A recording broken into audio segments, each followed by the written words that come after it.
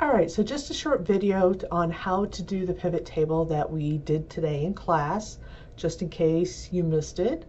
So anytime I have raw data like this, I like to make the top row bold. That way, uh, make the entire row, row bold. There we go. Um, that way Excel assumes that is a header and we don't have to try to define it. And even though a lot of times it does work, it does make things easier. We have several rows of data, include about 645,000, so keep in mind this is a fairly large data set. All right, to create a pivot table, we go to Insert and Pivot Table.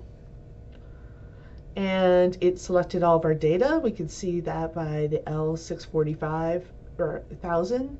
And we're going to go to a new worksheet.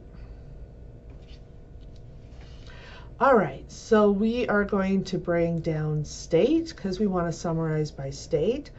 We could actually pick any field uh, to since we are doing a count, but I'm going to bring down amount in case we do want to take summarize it instead by amount.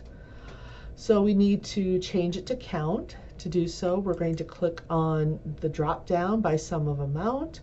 We're going to go to value field settings and we're going to change it to count. So this is the number of rows or number of loans for each state.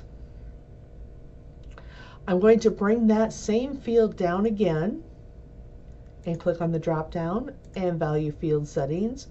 We do need to make sure it gets changed to count because we want our percentages to reflect a percentage of the count rather than a percentage of the sum. And then we're going to go to the show values as, which is the second tab, and change it to percent of column total. In this case, uh, column total and grand total would do the exact same thing.